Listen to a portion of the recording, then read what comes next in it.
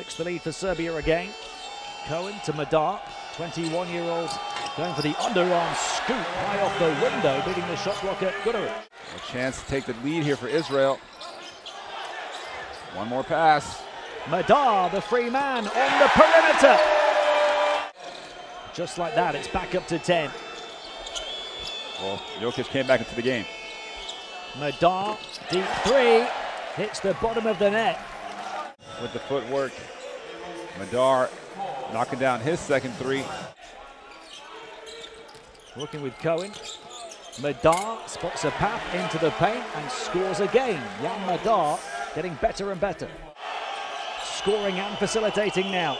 Back at it goes. Cohen passes on one further. They work it around the perimeter. Madar! Israeli excellence on offense. 29 points, 10 rebounds. Up high, Madar caught it under the backboard and put it in. Sorkin on the offensive end.